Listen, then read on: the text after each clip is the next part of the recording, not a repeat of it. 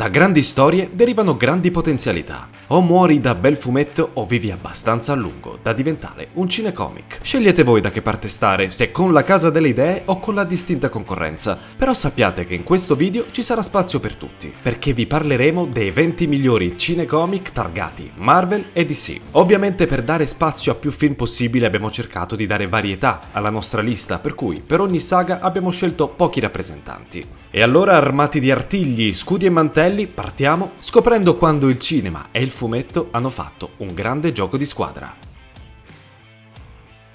Il primo grande salto, il primo balzo, il primo volo. Impossibile non partire dal mitico Superman di Richard Donner, nel 1978 il più iconico dei supereroi, spesso considerato ostico da raccontare in quanto troppo perfetto e quindi lontano dal lettore spettatore, trova la sua perfetta incarnazione nel grande e compianto Christopher Reeve. La presenza scenica dell'attore è perfetta per carisma e sintesi tra eleganza e possanza. Riguardandolo oggi, Superman non ha perso un briciolo del suo fascino fascino, grazie alla sua America di provincia, alla colonna sonora ispirata del grande John Williams e alla spettacolarità di alcune sequenze. Un'opera assolutamente seminale, le radici del nostro senso di meraviglia affondano qui. Ovviamente anche il primo meraviglioso Batman del 1989 meriterebbe un posto in classifica, ma siccome vi abbiamo promesso varietà abbiamo deciso di premiare una sola perla bartoniana. Se abbiamo scelto Batman il ritorno è per l'audace coraggio con cui Tim Burton impone la sua anarchica visione autoriale del mondo all'interno all'interno di un genere solitamente codificato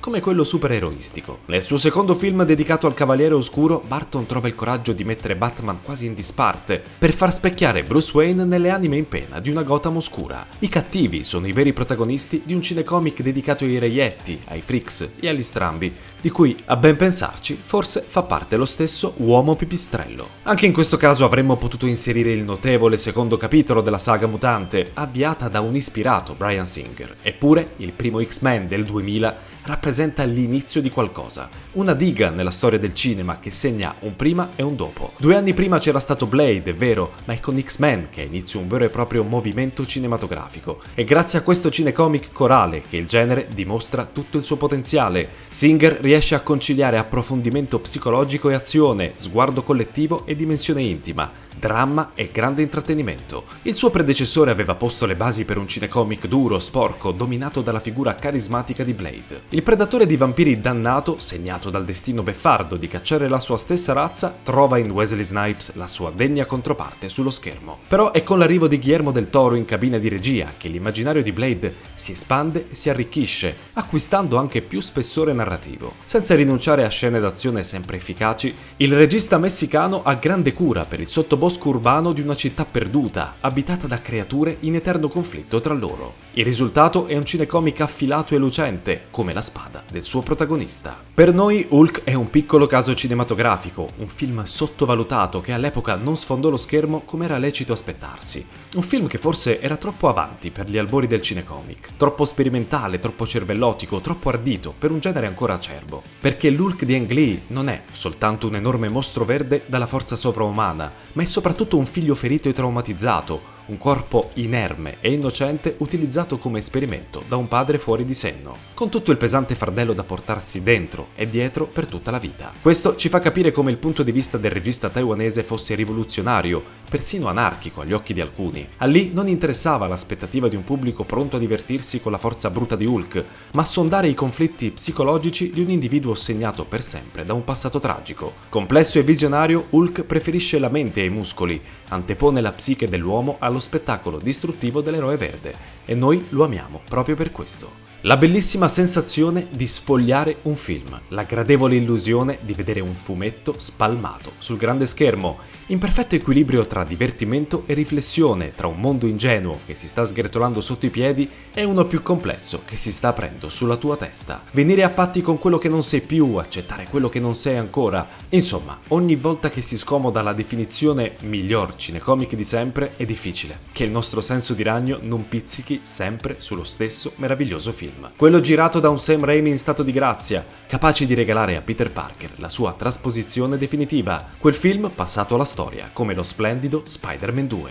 Col senno di poi è facile dare le cose per scontate, ma nel caso di Iron Man sarebbe ingrato. Oggi il Marvel Cinematic Universe è un colosso assoluto dell'intrattenimento, ma nel 2008 le cose erano molto diverse. Lo studio stava lanciando la sua folle sfida alle grandi major e lo ha fatto con un film dedicato a un supereroe considerato di seconda fascia, lontano anni luce dalla notorietà popolare di Spider-Man e degli X-Men. Senza dimenticare l'azzardo di aver dato le chiavi del film in mano a un personaggio controverso come Robert Downey Jr. Il risultato è una simbiosi perfetta tra un attore rinato e un Tony Stark in forma smagliante. Un personaggio carismatico e istrionico, capace di plasmare ogni minuto del film attraverso la sua personalità. Ironia brillante, ritmo, sana passione per lo spettacolo. Se il Marvel Cinematic Universe è diventato un colosso, il merito è soprattutto di questo solido primo mattone, rigorosamente fatto di ferro. Un film su Batman senza Batman nel titolo. Prima, potente, fondamentale dichiarazione di intenti di un cinecomic sontuoso. Dopo aver ispezionato il trauma nel cuore di Bruce Wayne nel bellissimo Batman Begins, Christopher Nolan si dedica all'icona di Batman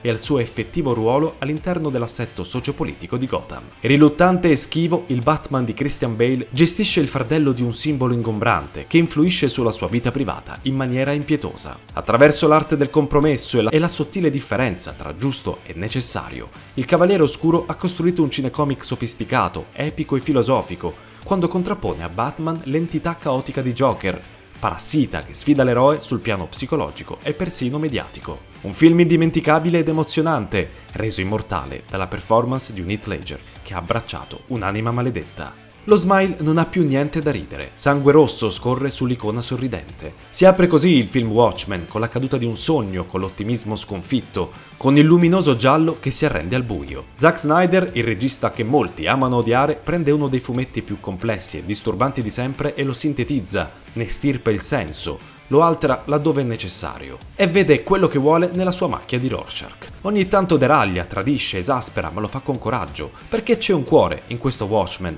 Per una volta il regista innamorato dei corpi degli eroi lascia respirare anche l'ambientazione, calando così i suoi personaggi dentro un mondo fetido. Per fortuna anche Watchmen, che all'epoca non ebbe un grande successo, è stato rivalutato col tempo, come se il film avesse lo stesso destino dei suoi eroi, quello di essere condannati a rimanere ai margini, sconfitti, lontani dal cuore e dalla stima della gente, sempre fuori posto, fuori tempo e forse troppo in anticipo per essere compresi davvero. E se un ragazzino si mettesse in testa la folle idea di diventare un supereroe, quali sarebbero le vere conseguenze della sua coraggiosa scelta? Denti spezzati, ossa rotte e tanto, tanto sangue. Rispettando, pur mitigandolo, lo stile crudo e disincantato del fumetto firmato Mark Miller e disegnato da John Romita Jr., Kick-Ass prende a calci qualsiasi ideale legato ai supereroi per calarci in una realtà sporca e dura come la pietra. Trascinante, folle e attraversato da uno spirito pulp, Kick-Ass resta una delle trasposizioni meglio riuscite dalla carta al grande schermo. Il primo Assemble non si scorda mai. Adesso ci sembra quasi scontato, ma otto anni fa mettere insieme una riunione di supereroi iconici talmente ben organizzata, ovvero con singoli film a loro dedicati a precedere il tutto, non lo era affatto. Nel 2012 Avengers non fu solo un film, fu un evento, il risultato perfetto di una programmazione ben congegnata. Azione, humor ed epica che si sposano a meraviglia, un villain finalmente affascinante e soprattutto una sceneggiatura in cui ogni personaggio esprime se stesso attraverso il proprio registro. La retorica di Cap, l'ironia pungente di Stark, l'epica fuori luogo di Thor e il disagio di Banner. Forse il vero superpotere di Avengers non è solo nei duelli e negli scontri roboanti, ma nelle parole. A cosa serve davvero uno scudo? A proteggere o a nascondere? Sul ritmo di un perfetto action movie moderno, ben miscelato con una spy story dal gusto classico, Capitan America The Winter Soldier punta il dito contro il sistema americano. Con una storia impregnata di disillusione e autocritica, il film dei fratelli Russo mette in scena una lucida riflessione sul lato oscuro del mondo digitale, in cui presunte libertà vengono barattate con il controllo di spazi, dati e privacy. Ancorato ai valori del passato, Steve Rogers rappresenta l'americano disincantato, nostalgico di un mondo andato molto più semplice di questo. Nonostante l'inverno del titolo però, per il personaggio di Capitan America questo è il film del disgelo. Ibernato a comprimario senza molto carisma nei primi film, grazie a The Winter Soldier il personaggio acquista dignità e fascino, elevandosi a uno dei leader, dei vendicatori. Nota di merito per le sequenze action, di dinamiche, fisiche, solide, a tratti impreziosita da sequenze stealth di memoria videoludica. La musica come collante, un Walkman come simbolo di un ricordo commovente, la colonna sonora come invito a lasciarsi andare e scatenarsi assieme a un gruppo di scapestrati a cui è impossibile non volere bene. Partito in sordina, considerato che Star-Lord, Gamora e compagni non erano affatto conosciuti come i loro colleghi vendicatori agli occhi del grande pubblico, Guardiani della Galassia è stata la più grande scommessa del Marvel Cinematic Universe. Una scommessa vinta alla grande da un James Gunn capace di sposare a meraviglia lo spirito sovversivo e ironico di questi outsider, personaggi ai margini che da strani diventano subito speciali. Attraverso dei dialoghi esilaranti, Guardiani della Galassia sarebbe capace di intrattenere anche con i cinque protagonisti chiusi in una stanza a parlare tutto il tempo. Un film bellissimo che ci ricorda ogni volta che noi siamo Groot.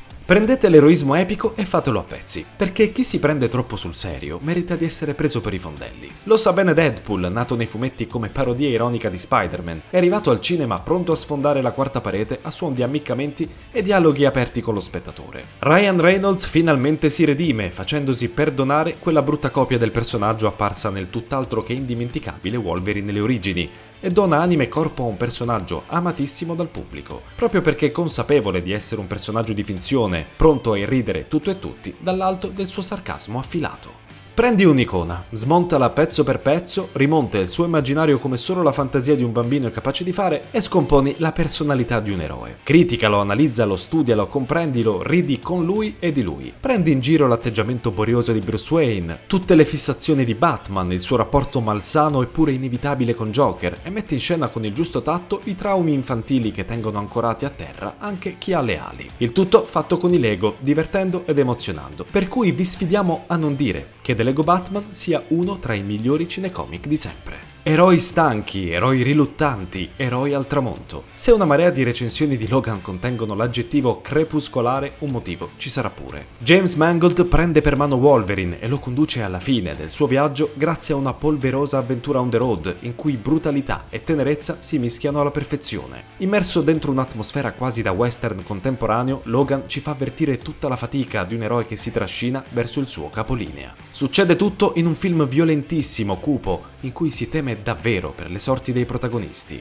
L'uomo che ha dato il via all'era d'oro dei cinecomic dopo 17 anni di battaglie può finalmente riposare in pace dopo un canto del cigno assolutamente bellissimo. Questo non è un film, è il Big Bang, l'impatto definitivo di particelle pop che esplodono in un film animato eccezionale. Dentro c'è il divertimento trascinante di un fumetto da cui non riesci a staccare gli occhi, un'animazione calda che non si dimentica del calore del disegno, ovvero l'origine di tutto. Tra ammiccamenti al cinema, ai videogame e al merchandising, scorre una storia densa e ricca, capace di essere ironica ed epica e subito dopo commovente ed esilarante. E questo succede soltanto quando i film sono scritti bene. Spider-Man, un nuovo universo, è una perla assoluta, un film brillante e divertente, ma anche con una morale adulta, che ci ricorda che l'eroismo spesso ha bisogno di passare dal lutto e dal dolore per abbracciare la sua consapevolezza.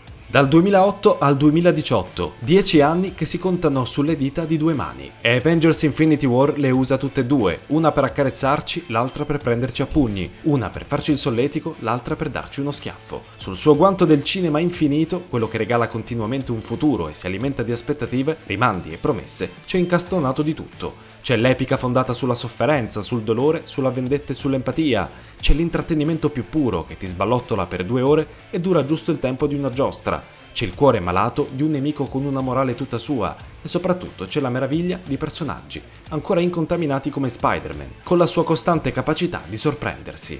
Ma la sesta gemma è la più preziosa ed è la voce, perché il più grande merito del Marvel Cinematic Universe è quello di aver plasmato una voce per ognuno dei personaggi, nessuno escluso. Potresti ascoltare una battuta ad occhi chiusi per riconoscerli, il che significa aver dato loro una personalità ben definita, quella che emerge anche con poche parole, in un film così affollato ma mai caotico. E allora, anche se vi sembrerà assurdo e impopolare, fra Infinity War ed Endgame noi abbiamo scelto il primo. Perché? Perché ci è sembrato assolutamente più equilibrato e scritto meglio, senza lo stratagemma dei viaggi nel tempo, che spesso è soltanto una scorciatoia. Shazam è una specie di Stranger Things dei cinecomic, perché con quel suo retrogusto un po' nostalgico da commedia anni 80-90 prende il fanciullino nascosto dentro ognuno di noi e lo accarezza, lo mette a sedere e poi gli fa il terzo grado.